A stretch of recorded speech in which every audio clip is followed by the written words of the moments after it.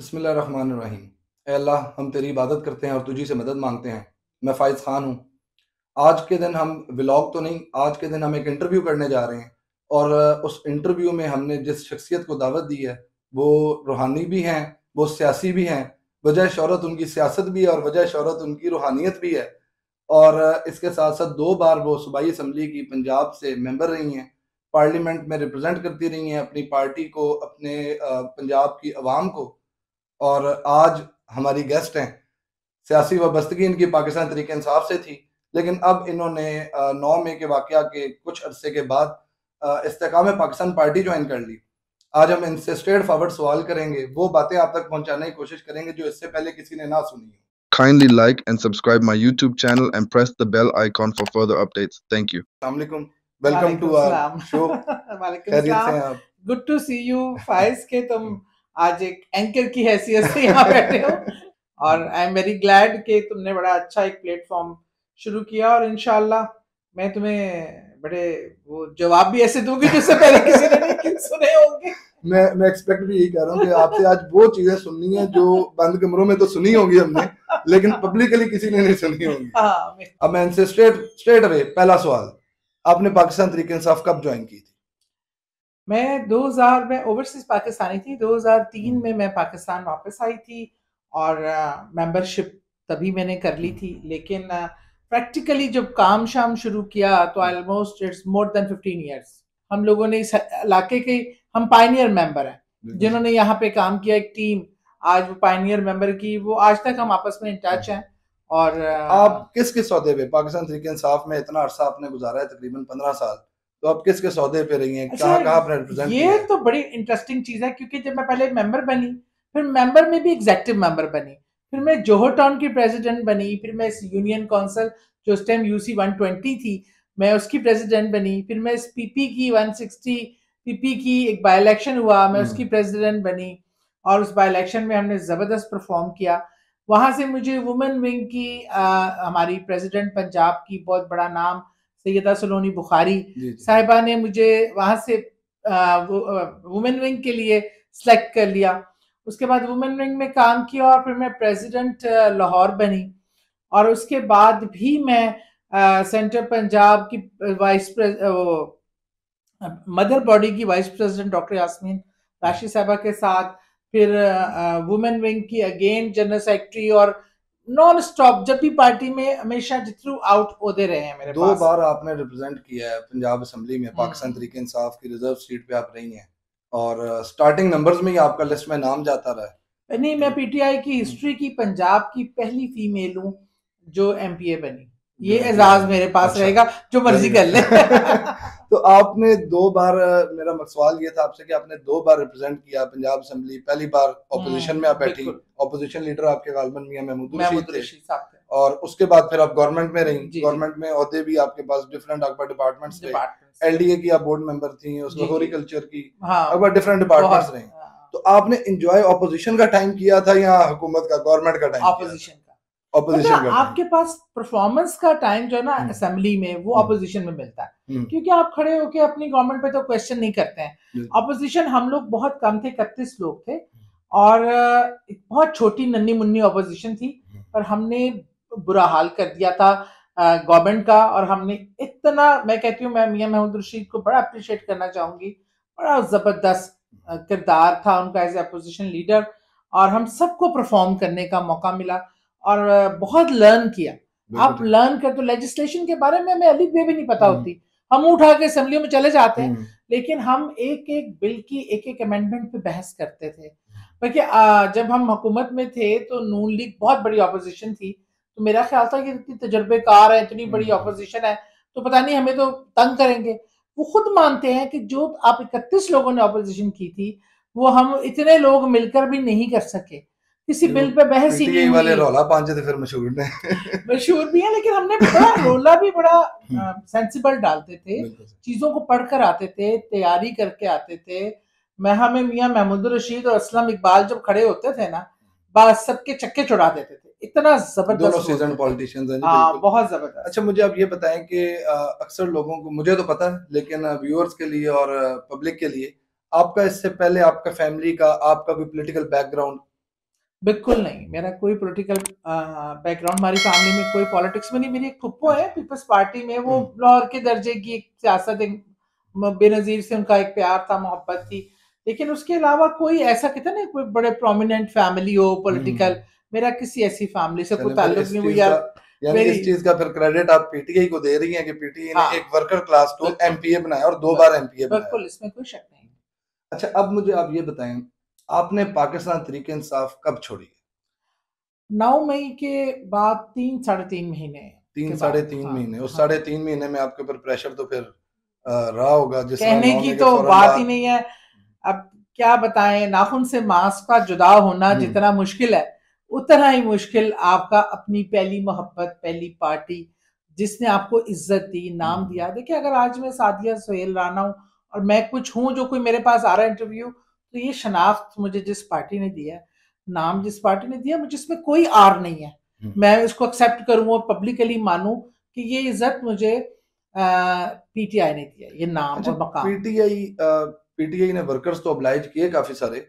आप भी उनमें से एक हैं वर्किंग क्लास हम्म। से आप आई और आप वर्कर हैं पाकिस्तान इंसाफ की। फाइज एक्स में एक मैं चीज़ ज़रूर ऐड हम्म। करना चाहूँगी। मैं पैराशूटर नहीं थी। बिल्कुल।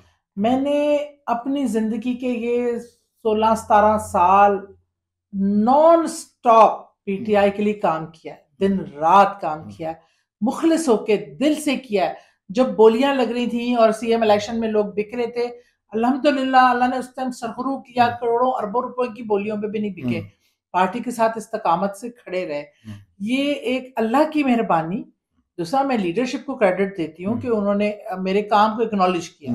लेकिन मैंने काम किया। मैंने ऐसे पहला पैराशूटर या शॉर्टकट लेके मैं पॉलिटिक्स में मैंने नाम नहीं बनाया। अच्छा आपने इतना पैसों की भी ऑफ़र हुई जिस तरह आपने पहले 2022 का ज़िक्र किया जब हमजा शहबाज में वज़ीर अला पंजाब हम्म। बने थे आपका रजीम चेंज जब हुआ था। जी जी बिल्कुल। तो उसमें आपने पैसों की ऑफ़र ठुकराई और 9 मई के बाद तीन साढ़े तीन माह आपने प्रेशर जो है उसको सस्टेन किया उसको बर्दाश्त किया आपने। एक 9 मई का जो सानिया है हमारा black day in the history of Pakistan no उसका इल्ज़ाम जो है डायरेक्ट लगाया जाता है इमरान खान के ऊपर कि इमरान खान ने इंस्टिगेट किया था। इमरान खान के कहने पर ये नौ मई का वकूआ हुआ था। आप तो उस वक्त पंजाब की एमपीए थी और आप उस वक्त इमरान खान के साथ थी।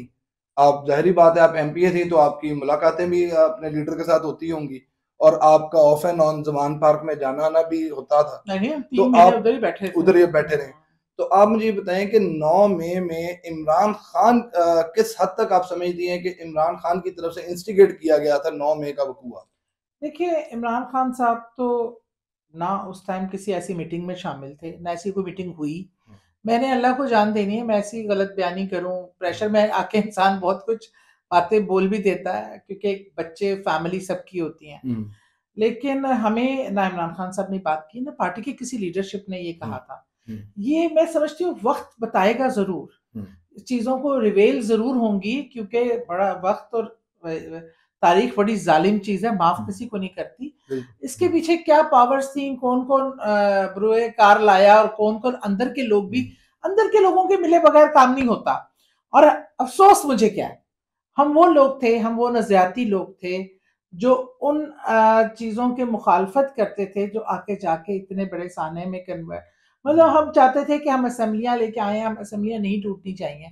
हम सत्तर परसेंट पाकिस्तान हमारे पास था हमें अपोजिशन में बैठ के अपोजिशन करनी चाहिए। हमें जो कुछ लोग ऐसे ज़रूर अनासर शामिल होते हैं जो भटकाने का काम करते हैं जो एडवेंचर हर वक्त जिनको बहुत पसंद होता है। ऐसे अनासर के खिलाफ हम बोलने वालों में से थे हम बात करते वो कौन लोग थे हाँ। जो कौन लोग थे जो भड़का रहे थे? अब देखिए नाम मैं क्या लूँ लेकिन मैं बता बता दूँ कि हुआ ये कि भुगतना हमें पड़ गया। हम्म।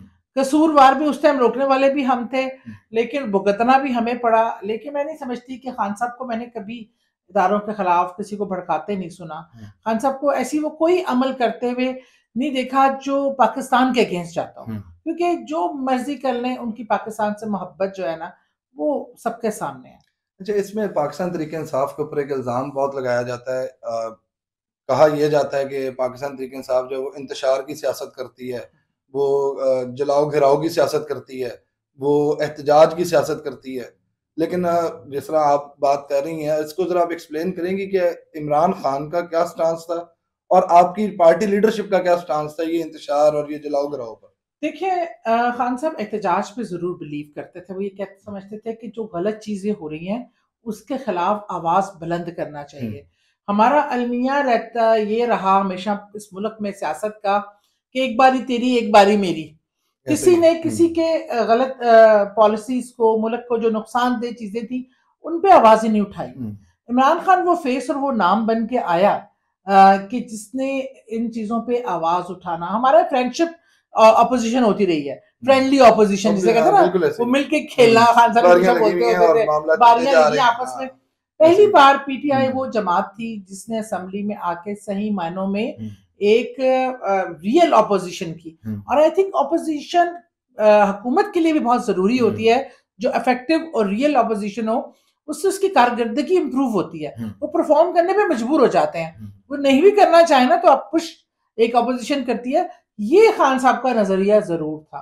लेकिन ऐसा कभी नहीं हुआ हमारे जलसे जलूस धरनों में। आज तक किसी ने गमला भी नहीं तोड़ा। चलिए आप अब मैं आपकी सियासत के नेक्स्ट चैप्टर पे आऊँगा इसके बाद। जी जी ज़रूर। अब आखिरी सवाल आप मुझे इमरान खान के बारे में आप ये बताएँ आईपीपी के चैप्टर से पहले पहले हम्म। कि आपको अगर मैं इमरान खान को एक्सप्लेन करने का कहूँ इन टू थ्री लाइंस दो तीन हम्म। जुमलों में आप इमरान खान को कैसे एक्सप्लेन करेंगे? Dead honest straightforward and a brave man ये है।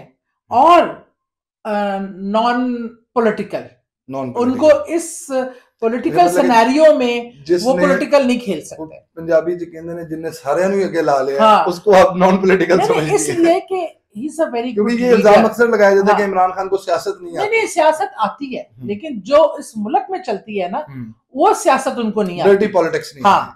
वो स्ट्रेट फॉरवर्ड है सच हम्म। बोल देते हैं जो उनको भुगतना भी पड़ता है महँगा भी पड़ता है जो सच बोलता है फिर अब पता नहीं मैं भी क्या भुगतू लेकिन आप भुगताना चाहते हैं लेकिन मैं आपको ज़्यादा ज़्यादा सच सवाल ज़्यादा मुश्किल में नहीं डालता अच्छा मुझे आप ये बताएँ अब आपने ज्वाइन की इस्तेकाम है पाकिस्तान पार्टी हम्म।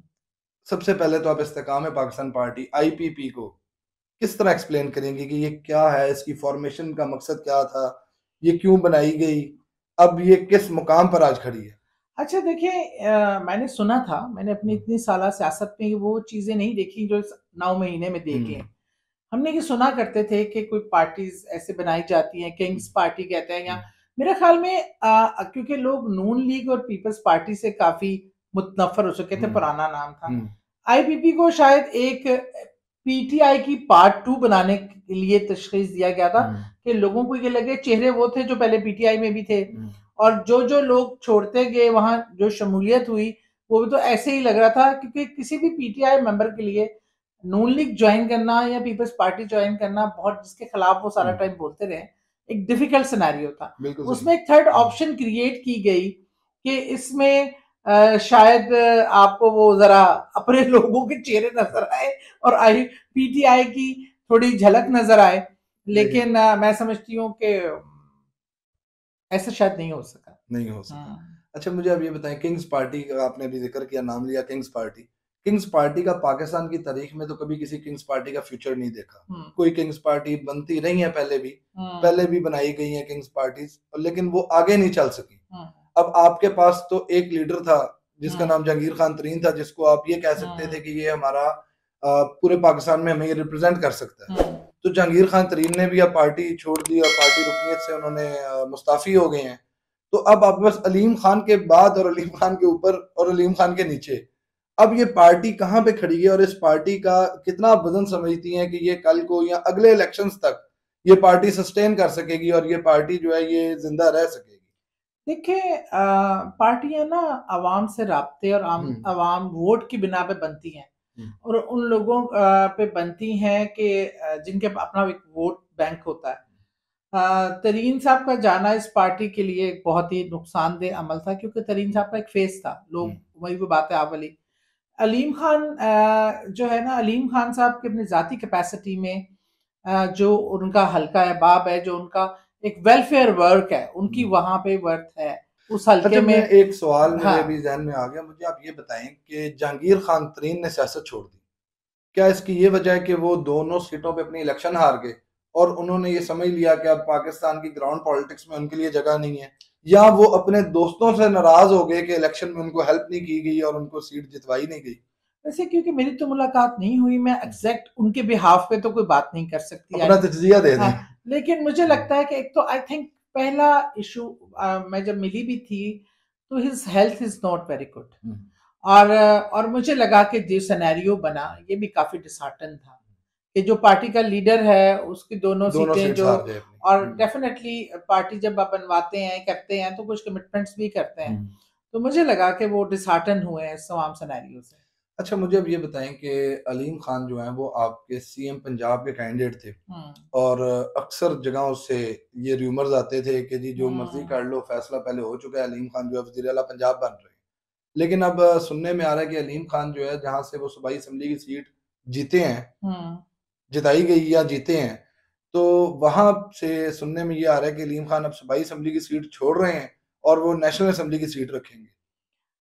मेरे ख्याल में ये बात इस हद तक दुरुस्त भी है कि एक अगर पंजाब में वो सीएम के कैंडिडेट थे तो फिर वहाँ एक सीट लेके बैठकर उनको बैठने का कोई जवाब बनता नहीं है नेशनल असेंबली में नेशनल लेवल पे चलो पॉलिटिक्स में वो जो पार्टिसिपेशन कर सकते हैं उस सीट की बिना पे वो करेंगे अच्छा, इसी वजह से शायद ये फैसला लिया ये पार्टिसिपेशन किस लेवल पर करेंगे क्योंकि इलेक्शन तो आईपीपी ने और मुस्लिम लीग नवाज़ ने मिलकर कॉन्टेस्ट किया है। जहाँ पर आईपीपी के कैंडिडेट थे मुस्लिम लीग नवाज़ ने अपने कैंडिडेट नहीं अच्छा फाइज मैं ना इस तो चीज़ के खिलाफ। मेरा कोई इतना रोल तो नहीं है उस हम्म। पार्टी में एक्टिवली हम्म। कोई रोल तो नहीं दिया गया तो पर इवन मैंने एक जो कोई मीटिंग थी उसमें भी मैंने यही कहा कि हमें प्रो जो बी टीम बन के नून लीग की आप इलेक्शन लड़ेंगे लोगों के दिलों में जो नून लीग के लिए इस टाइम नेगेटिविटी है नफरत है वो आप अपना कोई अच्छा मैनिफेस्टो दें और कोई अच्छी बात करें कोई डिफरेंट बात करें इन लोगों के साथ मिलकर मेरे ख्याल में इनको इलाहाक का नुकसान हुआ है हम्म। फ़ायदा नहीं हुआ हम्म। क्योंकि इनके इलाहाक से जो उनका नफरत का वोट है ना वो इनके खाते में आ गया अच्छा तो ये इलाहाक से अगर आईपीपी को आप समझती हैं कि नुकसान हुआ है तो क्या हम इसको ये समझें कि जो ओन चौधरी हैं उनको एक लाख सत्तर हज़ार वोट जो है वो ओन चौधरी की मोहब्बत का डला है और जो सलमान अकम राजा को जो वोट डला है वो नून लीग ने नफरत का वोट डाल दिया आईपीपी को और नून लीग की नफरत का वोट डाला है सलमान अकम राजा को देखिए आप ये समझती हैं कि आपका अपना तजिया आप लाहौर की आपने पॉलिटिक्स की है ग्राउंड हाँ। को आप समझती हैं सारे मामला आपके सामने वैसे वो पूरा चौधरी सीट जीता है या जितवाया गया है देखिए इसकी तो बहुत बड़ा एक स्टेटमेंट होगा अगर मैं देती हूँ पर मैं ये बता सकती हूँ कि ये हल्का दो 2013 से हमेशा पीटीआई जीतती आई है एमएनए हम्म। भी और दोनों एमपीएस हम्म। भी हम्म।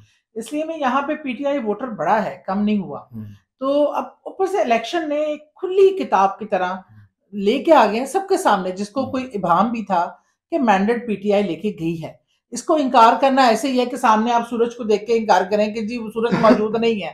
तो ये आपको मान लेना चाहिए मैंडेट और जिसको मिला हो उसको हुकूमत देनी चाहिए। अच्छा आप ये बताएँ कि लाहौर में ओन चौधरी की मकबूलियत मरियम नवाज़ हमजा शहबाज शहबाज शरीफ और नवाज़ शरीफ इन सबसे ज़्यादा मकबूलियत ओन चौधरी रखते हैं लाहौर में क्योंकि वोट तो इनको सबसे ज़्यादा डला है। इतना वोट तो और नून लीग के लीडर्स को नहीं डला अलीम खान को इतना वोट नहीं डला जितना ओन चौधरी को डला है। तो ओन चौधरी इतने बड़े लीडर इतना बड़ा नाम ये कैसे हो गया कि नवाज़ शरीफ भी ओन चौधरी से पीछे रह गए? ये तो नहीं बता सकते मैं क्या कह सकती हूँ? आप इसके ऊपर ना बात करें आपकी पार्टी की सीट है। अच्छा मुझे आप ये बताएँ आईपीपी या पीटीआई पीटीआई में ऐसा क्या कुछ आपको बुरा लगता था जो आईपीपी में अच्छा है?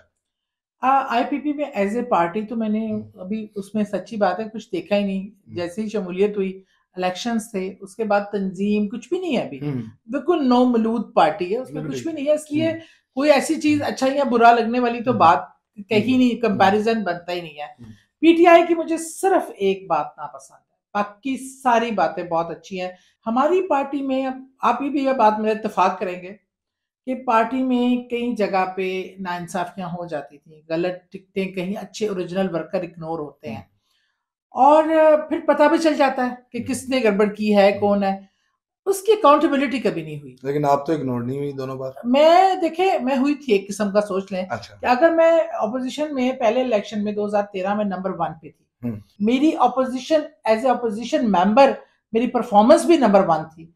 उसके बाद सेकंड टेन्योर पे उस चीज़ को बजाय एडमिट करने के मानते थे खान तारीफ़ हमेशा करते थे सबने कहा बेहतरीन परफॉर्म उसके बाद मुझे 16 नंबर पर डाल दिया गया हम्म। और मुझसे पहले वो लोग थे जिनका काम मेरे हिसाब से या मैरिट पे चले मैं फिर भी बन गई। मैं ये नहीं हम्म। कहती ना शुक्रापन नहीं करती हम्म। मैं अपनी जात की बात नहीं कह रही। ऐसी हमारी पार्टी की कई खातन है जिन्हें आज तक वो मौका नहीं मिला जो वो डिजर्व करती थी। बड़ी अच्छी छोड़ने का जो आपका फैसला है उसके ऊपर ये एक नंबर से सोलहवें नंबर पर आना ये तो असरअंदाज नहीं, नहीं, नहीं, नहीं बिल्कुल नहीं ये तो बातें अंदर चलती रहती हैं हम्म। और किसी पार्टी में भी हमारे यहाँ इंसाफ का कोई नहीं है खातन की सीट्स पे हर पार्टी में यू नेम इट लोग पर्सनल फेवर्स देते हैं हम्म। माए बहनें बेटियाँ आती हैं बल्कि पीटीआई इस हिसाब से बहुत बेहतर थी कि एम भी सारी पार्टी वर्कर्स थी एमपीएस भी पार्टी वर्कर थी इमरान खान की कोई बहन भाभी वो कोई नहीं आया। कोई रिश्तेदार नहीं हम्म। आया। ना ही किसी एम एन एमपीए की बीवी बेटी आई। हम्म। सब पार्टी की वर्कर्स आए। ये क्रेडिट हम्म। पीटीआई को जाता है। या पीपल्स पार्टी भी बहुत हद तक ये चीज़ें करती है लेकिन उनके ऊपर टीयर में फैमिली है। हमारी पार्टी में एक ये भी प्रॉब्लम है कि फैसला साजी में बहुत कम एक डॉक्टर यासमीन हमारी वो खातून वाहिद लीडर थी जो हमें नज़र आती थी। हम जब असेंबली में थे हमारी कैबिनेट में सिर्फ़ दो फीमेल एम वो मिनिस्टर्स थी। जबकि बहुत केपेबल औरतें मैं अपनी बात नहीं कर रही और भी मेरे अलावा बहुत सी औरतें थी जो केपेबल थी और बहुत अच्छा काम कर सकती थी।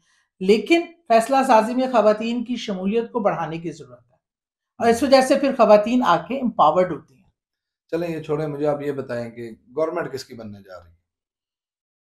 बनने जा रही है बनाने जा रहे हैं। चले आपके गवर्नमेंट किसकी बनाने जा रही है? मैं बता रही हूँ मैंने तो खैर मैं कोई कुछ भी नहीं हूँ मैं लेकिन समझती हूँ कि अवाम ने जिसको मैंडेट दिया है गवर्नमेंट उसी को मिलना चाहिए ताकि ये कल्चर खत्म हो रोना पीटना हर इलेक्शन के बाद। उन्होंने तो मैंडेट तो देखे मैंडेट मिला इमरान खान के साथ उम्मीदवार इमरान खान के नाम को मैंडेट बिल्कुल मिला। अब इमरान खान ने तो क्लियर कर दिया कि इमरान खान नवाज़ लीग के साथ या पीपल्स पार्टी के साथ नहीं बैठेगा। तो इन, और वो उन्होंने क्लियर बात कर दी में बैठने में क्या मसला है और उन्होंने उन्होंने तो बात क्लियर कर दी ना देखें इमरान खान के पास आज बानवे सीट्स है क्लेम तो 180 सीट्स वो करते हैं कि फॉर्म 45 के हम्म। मुताबिक लेकिन आज 92 सीट्स हैं उनके पास अब वो उन्होंने क्लियर कर दिया इमरान खान साहब का कल भी बयान मिनिस्टर गौहर का अली मोहम्मद खान का कि पीपल्स पार्टी और मुस्लिम लीग नवाज़ के साथ किसी किस्म के मुजाकर वो नहीं हम्म। करेंगे उनके साथ मिलकर हुकूमत नहीं बनाएँगे। और बनानी भी नहीं चाहिए क्योंकि उनकी तो सारी जद्दोजहद और उनकी सारी तहरीक जो है हम्म। वो इनके इन्हीं के अगेंस्ट थी ना ये चोर हैं ये डाकू हैं इन्होंने करप्शन की इन्होंने मुल्क लूटा इन्होंने मनी लॉन्ड्रिंग की।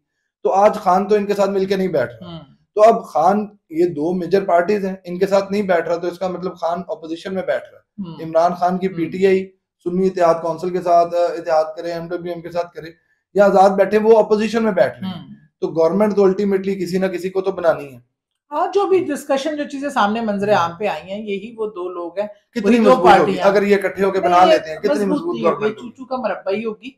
और अफसोस ये है कि इस टाइम पाकिस्तान को एक मुस्तहकम जमहूरियत चाहिए जो अवाम का मैंडेट लेके आई हो ताकि उसके फैसले अवाम एक्सेप्ट करेगी। पाकिस्तान को पॉलिसीज़ को और पाकिस्तान को माशी तौर पे इस टाइम जिस किस्म की मदद की ज़रूरत है ये आजमाए हुए लोग हैं। इनको कितनी बार आजमाना है?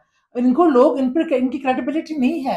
आप उन्हीं आजमाए हुए लोगों के साथ तो आपकी पार्टी ने इल्हाक किया। देखिए मैंने नहीं किया पार्टी ने किया। पार्टी आप मेरा नज़रिया पहले दिन भी खिलाफ था और आज भी खिलाफ है। मेरा से मैं समझती हूँ तो कि मैं मेरा यही इशू है मसला कि जो मेरा कहीं भी एडजस्ट होना मुश्किल हो जाता है एक माइंडसेट है। क्योंकि मैंने कोई politics M N M P A बनने के लिए भी नहीं की थी। मुझे तो पता ही नहीं था कोई आसार ही नहीं था उस टाइम पीटीआई में भी कोई एम पी ए बन सकता है। हम्म। तब की थी उस नज़रिए पे की थी हम्म। उस सोच पे की थी। मैं आज देखे मेरे नज़दीक मैं पाकिस्तानी हूँ। मेरे नज़दीक मेरी पहली मोहब्बत मेरा वतन है। हम्म। और मुझे ठीक है हालात और वाकयात चीज़ें बहुत सारी मजबूरियाँ होती हैं जो आपसे ऐसे फैसले करवा देती हैं जो शायद आपके खुद इतने मन पसंदीदा नहीं होते। लेकिन इस मुल्क की बका चाहिए अगर आपको इस मुल्क की बेहतरी चाहिए तो वो बंदे चाहे वो लोग बंदा चाहिए जिस पर अवाम ने अतमाद का साथ आप अपनी अपनी इस्तेकाम पाकिस्तान पार्टी की लीडरशिप यानी अलीम खान को क्या मशवरा देंगे कि वो हुकूमत में बैठे हैं या ट्रेजरी बेंचेस में बैठे या अपोजिशन बेंचेस में बैठे? मैं समझती हूँ अगर वो अपोजिशन में बैठेंगे ना हम्म। तो ही विल अर्न मोर क्योंकि उनके उनके इख्तियार में है अभी ये फैसला करना ये वो फैसला खुद कर सकते हैं। ये तो शायद वो खुद ही बेहतर जान सकते हैं मैं उनके बिहाफ पे बात नहीं कर सकती इतनी बड़ी। वो बेहतर जानते हैं कि वो है लेकिन मेरे ख्याल में वो अगर अवाम का मैंडेट लेके आए हैं तो उन्हें अब इस स्टेज पे ये एक सीट के साथ इधर से या उधर बैठने में क्या फ़र्क है? लेकिन एटलीस्ट वो उस बात पे आवाज़ तो उठा सकेंगे ना जो समझते हैं कि वो गलत है हम्म। गलत के खिलाफ। और लोग हुकूमत में बैठकर भी मैंने बहुत से ऐसे लोगों को देखा है। मैंने नून लीग में भी एक दो लोग ऐसे थे एक अलाउद्दीन साहब थे मैं नाम ले दूँगी उनका वो इतना अपनी हुकूमत को क्रिटिसाइज खड़ा होकर करते थे और हर पार्टी में पॉलिटिकल हर पार्टी में अच्छे बुरे लोग होते हैं। हम नवाज़ में हाँ, ख्वाजा साद रफीक जो है वो पॉलिटिकल वर्कर है मैं उनकी बड़ी तारीफ़ करता हूँ। बिल्कुल और उन्होंने अभी भी इलेक्शन का जो भी फैसला उनके खिलाफ आया है।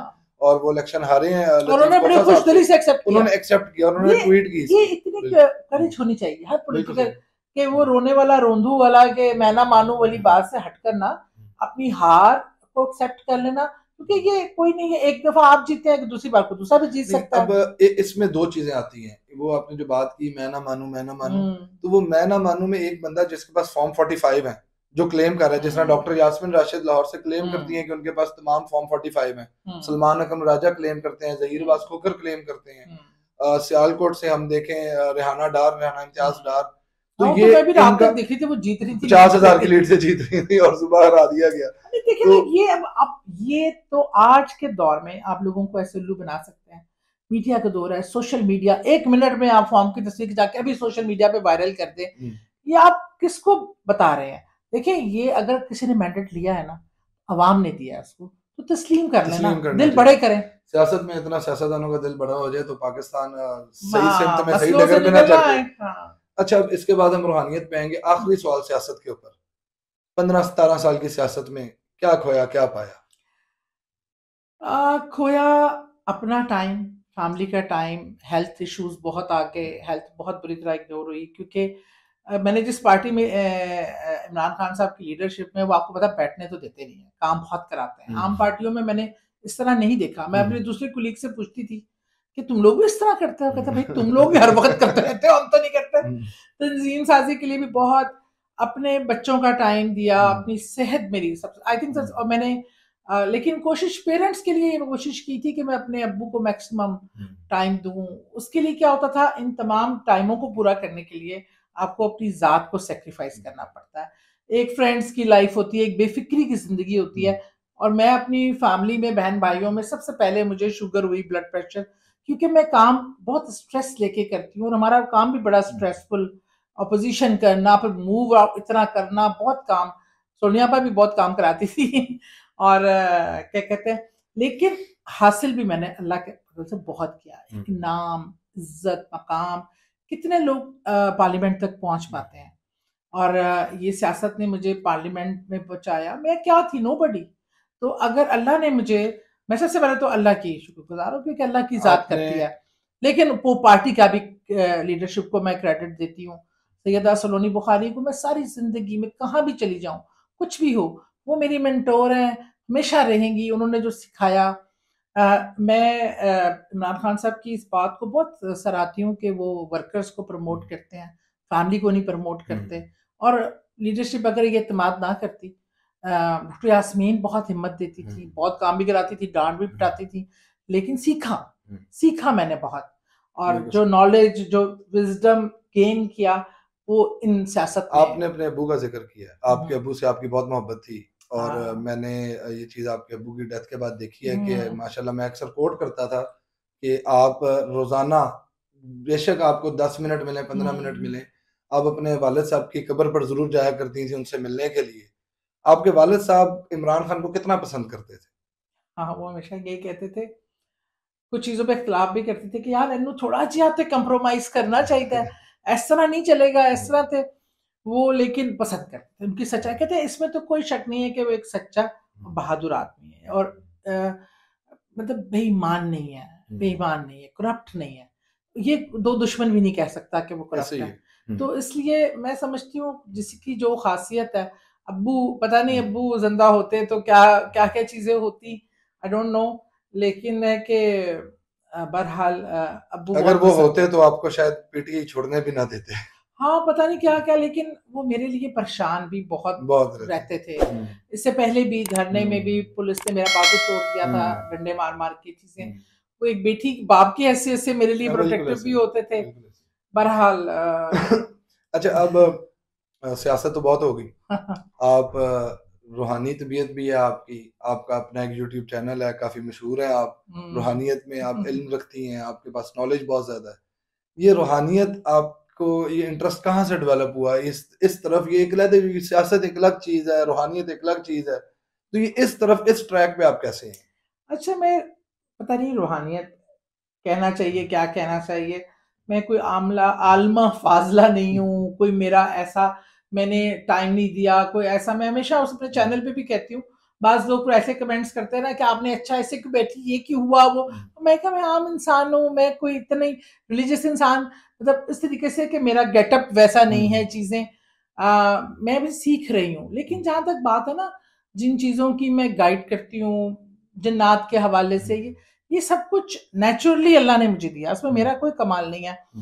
इसकी वजह एक ये भी था कि मेरी दादी में ये चीज़ हम्म। मेरी दादी के साथ हम्म। इस तरह के बहुत से हम्म। वाकयात थे और चीज़ें अब्बू में भी बहुत हद तक बहुत चीज़ें थी रूहानियत और मेरे अबू का और मेरा कनेक्शन था भी एक रूह का ताल्लुक। मैंने कहा ना जब दो हॉस्पिटल्स ने जब मुझे मुर्दा करार दे दिया मेरा जनाजा तैयार था सिर्फ़ उस समय एक ही इंसान था जिसको यकीन था कि मैं मरी नहीं हूँ वो मेरा बाप था। मतलब डॉक्टर्स जहाँ इलम ख़त्म हो गया वो मेरे बाप का मुझसे वो रूहानी ताल्लुक था जिसकी वजह से मैं कब्र में तो उस टाइम भी दफनाई जा सकती थी बस अल्लाह हम्म। ताला एक तो ऊपर जब ज़िंदगी दी हो और दूसरा मेरे बाप को अल्लाह ने ये विजन और शूर दिया तो ऑटोमेटिकली बचपन से यहाँ आई डोंट नो वो दो बार ज़िंदगी और मौत का एक्सपीरियंस हम्म। और उसके बाद दादी का एक वो चल रहा था सिलसिला और दूसरा मेरे अबू की चीज़ थी कि वो और मेरा दिल क्योंकि बहुत मैं हसास फितरत और नरम दिल की मालिक हूँ उस वजह से भी चीज़ें अल्लाह दिल साफ़ होना इंसान का ये अल्लाह जानता है। मेरे पास और कुछ नहीं है एक दिल है जो कि बहुत साफ़ है जिसकी वजह से मैं बड़ा नुकसान उठाती हूँ। क्योंकि सियासत में जो मकरो फ्रेब जो बनावट आपको चाहिए होती है वो नहीं है मेरे में। मैं प्रिटेंड कर सकती हूँ मैं बहुत सारी बातें इस टाइम प्रिटेंड करके बोल सकती थी मैं नहीं बोल सकती। मुझसे मुनाफ्त होना बहुत मुश्किल है। आपने दिल की बात की तो वो एक गालिब का शेर है कि दिल ही तो है ना संगो खेश दर्द से भरना है क्यों? रोएँगे हम हज़ार बार कोई हमें रुलाए आप अब पाकिस्तान को आप रूहानियत का इल्म भी रखती हैं सियासत का इल्म भी रखती हैं आए तो मैंने ये भी कहा था खान साहब को जिन दिनों जमान पाक वगैरह ये जब असम्बलियाँ टूटने की बात हुई हम्म। थी मुझे नज़र आता था मुझे बहुत बुरा चीज़ें नज़र आ रही थी। It was not the right time to मतलब वो का डिसीज़न लेने के लिए। ये क्योंकि एक तो वैसे भी रूहानी तौर पे भी सब पूरी दुनिया पे ना सिर्फ़ पाकिस्तान पे एक बहुत मुश्किल वक्त चल रहा है। कुर्ब क्यामत की चीज़ें नज़र आना शुरू हो गई हैं। और ऐसे सितारे जो बयासी साल से खामोश बैठे थे वो निकल आए हैं। चीज़ें बहुत सारी जलजलों का टाइम है कितने जलजले आ रहे हैं। कुदरती आफात जंगों को और जो गजा में हो रहा है में हो। रहा है उफ और मुस्लिम उम्मा की बेहसी। बेहसी। बिल्कुल खामोशी। तो मैं हैरान हूँ। अब तो टीवी पे आ भी नहीं रहा अब तो टीवी हम्म। पे आ भी नहीं रहा दिखा भी नहीं रहे। हम इलेक्शन करो ना ये मेरी सीट ये तेरी सीट हम्म। अब बच्चे लोग मुर्दा हम्म। बच्चे गोदों में लेके फिर रहे बस ये तो ना पाकिस्तान को आगे पाकिस्तान को आगे किस डगर पे आप देख रहे हैं? पाकिस्तान ने अरूज में आना ही आना है। 2025 के बाद। 2025 के बाद में।